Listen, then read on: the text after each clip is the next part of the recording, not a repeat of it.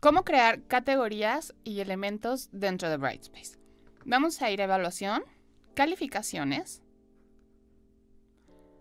administrar calificaciones. Y lo primero que vamos a hacer es crear categorías. Recuerden que las categorías son estos grandes rubros con los que vamos a evaluar y los elementos son con qué vamos a evaluar esos rubros. Entonces vamos a crear una categoría. Vamos a poner un nombre, por ejemplo, tareas, exposiciones, presentaciones, em, parciales, etc. Si lo deseamos, podemos poner un nombre abreviado.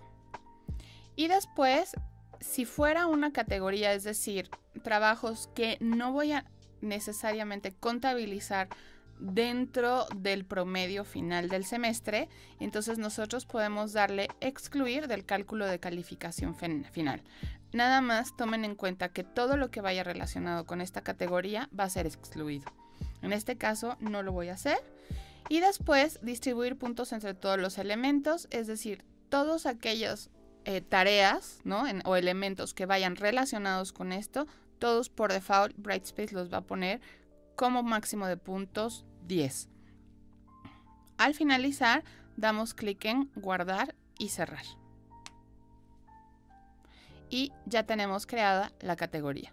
Para crear el elemento, lo que vamos a hacer es igual nuevo elemento numérico y vamos a designar el nombre. Por ejemplo, tarea 1, exposición 1, primer parcial, etc. Ojo, recuerden que si aquí ustedes ponen tarea 1, es importante que le digan a los alumnos que en tarea 1 van a poder encontrar la calificación ¿no? Para que ellos también sepan dónde encontrar sus calificaciones. Y después me va a preguntar a qué categoría pertenece. Si tuviera más de una, seleccionaría. Y fíjense cómo cuando programé mi categoría le puse que máximo de puntos era 10 a todo lo que estuviera vinculado. Por default, entonces ya me pone 10. El puede acceder es si yo por alguna razón dejara puntos extras dentro de esta tarea, es decir, que algún alumno pudiera tener, por ejemplo, 10.5 porque puse algunas preguntas o algunos pasos de, eh, de reposición, entonces yo tendría que poner que puede exceder. ¿Por qué? Porque sería entonces la calificación máxima de 10.5.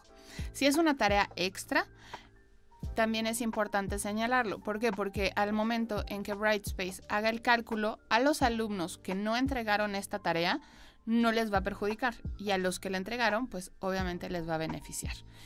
O si por alguna razón es solamente como un prerequisito para poder eh, hacer el examen, para entrar a clase, etcétera, o es una actividad nada más de repaso, podemos decirle que solamente este elemento en este caso tarea 1, sea excluido. Al finalizar, lo único que vamos a hacer es dar guardar y cerrar y entonces ya tenemos nuestra categoría con nuestro elemento.